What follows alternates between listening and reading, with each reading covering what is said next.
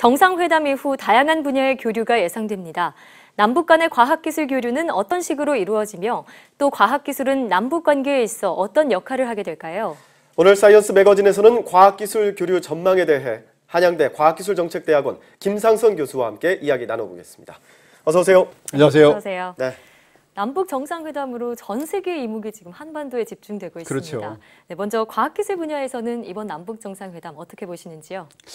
사실 이번 정상회담이 이제 국내는 물론 세계가 주목하는 행사기 때문에 국민의 한 사람으로서 정말 가슴 설레고 기대가 큰 그 회담이라고 말씀드릴 수가 있고요. 네. 예. 아시다시피 이번 회담이 이제 그 한반도 비핵화라든가 또 한, 항구적인 평화 정착이라든가 또 남북 관계 개선 이런 데 큰 그림이기 때문에 네.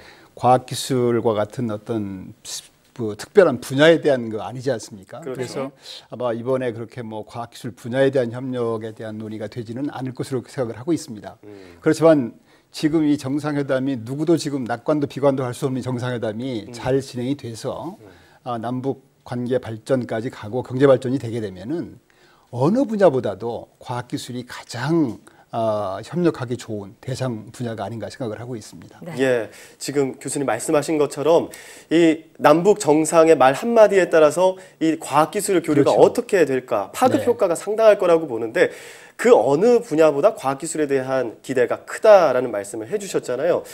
그동안 근데 남북 그 과학계가 교류가 아예 없었던 건 아니죠. 그렇죠. 이제 남북 협- 과학기술 협력은 협력할 수 있는 채널이 없었기 때문에 음.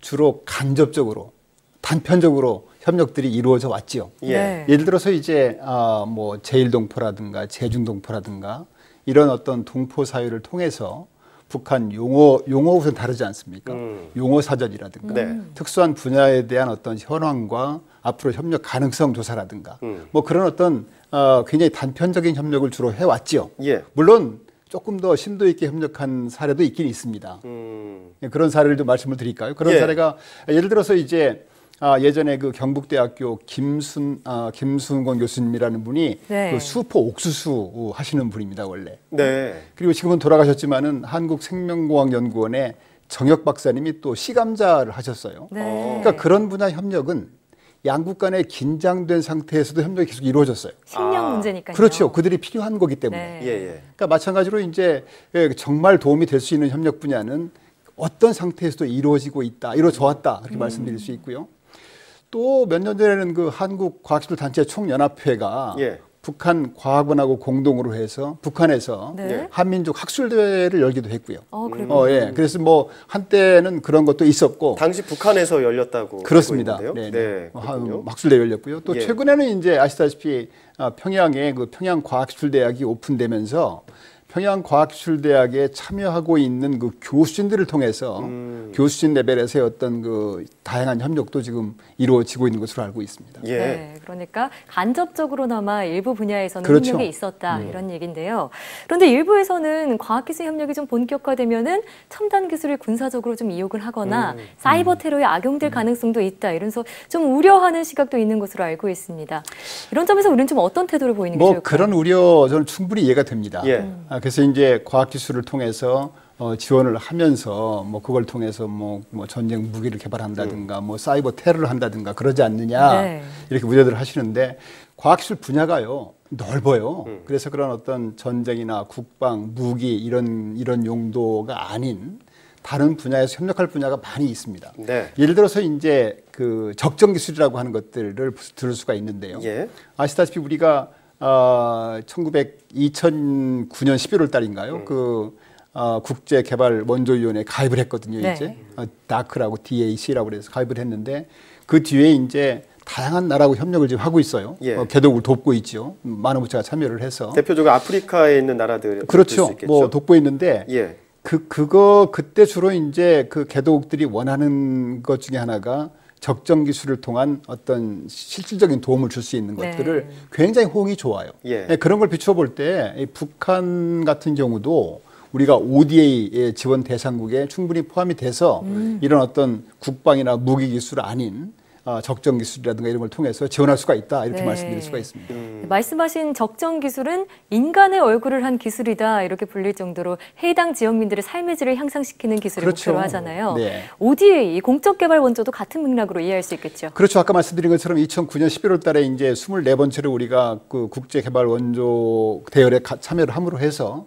그동안에 원조를 받던 나라가 원조를 주는 나라가 됐죠. 네. 네. 뭐 2차 대전 이후에 아마 최초의 나라라고 해요. 음. 그래서 이제 저희가 그 ODA를 통해서 현재는 뭐 아프리카라든가 아시아라든가 중남미 개도국들을 돕고 있는데요. 네. 예를 들어서 이제 외교부하고 코이카를 통해서 학교를 지어준다든가 병원이라든가 이런 걸 돕는 그런 사업도 있고요.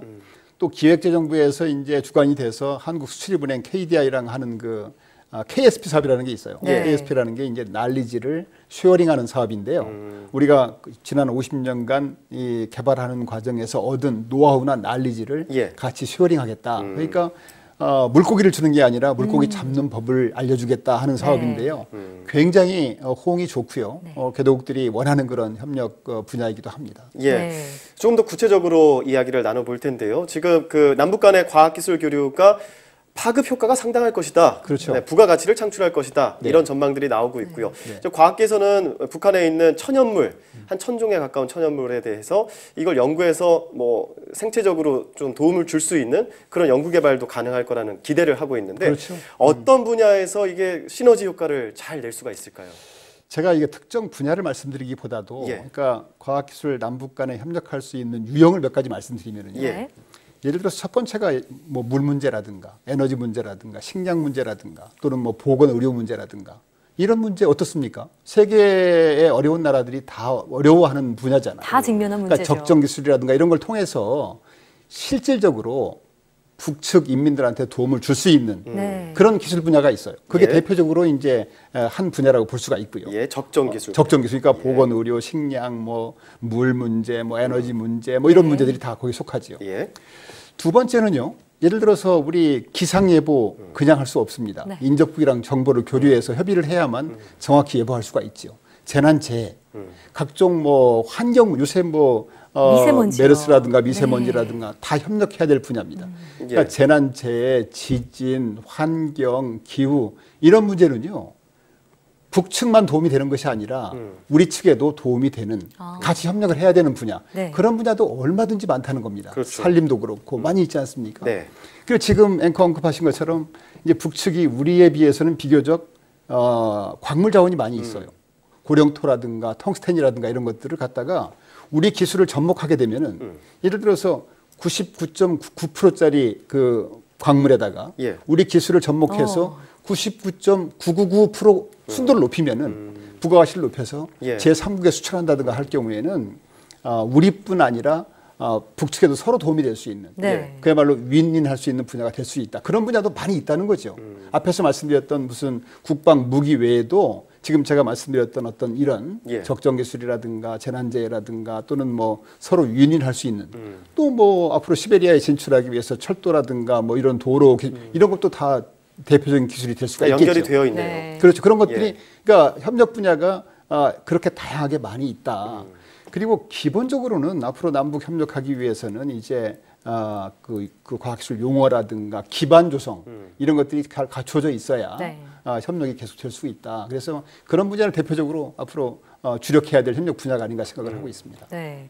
이번 남북 정상회담으로 남북 간의 과학기술 교류 협력도 좀 기대해 볼 수 있겠다. 네. 이런 말씀 계속 해주고 계신데요. 이 과학기술 협력을 그냥 협력을 시작하는 것에 그치지 않고 그렇죠. 계속해서 지속하고 또 네. 확대해 나가는 것이 중요하잖아요. 그러기 위해서는 무엇이 필요할까요? 제가 그런 말씀을 많이 드리는데요. 과학기술은 그 다른 분야 협력을 촉진하는 마중물이다. 음. 마중물 혹시 아세요? 마중물이요. 설명해 주시죠. 말 그대로 마중 나가는 네. 물이죠. 네. 예. 예전에는 이 수도가 없어서 이렇게 예. 수동으로 펌프질을 했는데요. 예. 그냥 물이 안 나와요. 음. 이렇게 저 바가지로 한 물을 이렇게 먼저 부어서 마중물을 넣어야 네. 이렇게 펌핑을 하면 물이 나오게 되는 거예요. 예. 네. 그러니까 사실은 과학기술 분야는요. 남북 관계가 설사 좀 잘 진전이 안 되더라도 어, 비교적 어, 이념이라든가 국방에서 자유로운 분야, 아까 그런 분야들이기 때문에 과학기술 협력이 계속 이루어져야 되는 거죠. 음. 이루어지다 보면 다른 여건이 좋아지면 다른 분야를 확산시킬 수 있다. 그러니까 마중물 역할을 해야 된다. 과학기술이. 그래서 어, 설사 어, 이번 정상회담 결과가 어떻든 간에 어, 과학기술 협력 쪽에서는 우리가 계속 어, 어, 주력을 해서 어, 다른 분야까지 예. 어, 협력을 확산시킬 수 있는 마중물 역할을 해야 된다고 저는 보고 있습니다. 예. 또 첫 술에 배부를 수는 없잖아요. 그렇죠. 이 단계별로 그러니까 어, 갑자기 뭐 어떤 특정 분야에 대한 어떤 공동 연구 이런 것보다도 어, 처음에는 인력 교류라든가 정보 교류 이렇게 하면서 이제 공동 연구, 실용화 이런 쪽으로 확산시킬 수 있는 것이죠. 네. 네. 자, 그리고 또 이제 짧게 공공부터 나서느냐, 민간부터 나서느냐 이런 거에 대한 이야기도 나오고 있는데 어떻게 생각하세요? 딱 구분할 수 없죠. 그렇죠. 공공 민간 다 같이 갈 수 있겠지만 아마 네. 초기 단계는 주로 이제 공공 섹터에서 협력을 해야 되겠죠. 그래서 아, 대표적으로 이제 평양과학기술대학이 지금 있는데요. 그 평양과학기술대학을 활용해서 예. 남북과학기술 협력센터를 설치 운영한다든가 음. 또 한민족 과학기술 대회를 연다든가 서로 실력 기반을 쌓, 쌓으면서 음. 인력 교류, 정보 교류 이런 것들을 단계적으로 키워나가면서 이제 공동 연구라든가 뭐 기술 이전이라든가 이런 것들이 어, 확대 발전될 수가 있지 않을까 기대가 네. 되고 있습니다. 네, 네. 공공과 또 민간의 도움으로 이 남북 간 과학기술 협력이 본격화되는 날을 기대해 보게 네. 됩니다. 네, 오늘은 남북 정상회담 개최와 연계해서 남북 간 과학기술 협력 현황과 전망에 대해 알아봤습니다. 지금까지 한양대학교 김상선 교수와 함께했습니다. 오늘 말씀 고맙습니다. 감사합니다.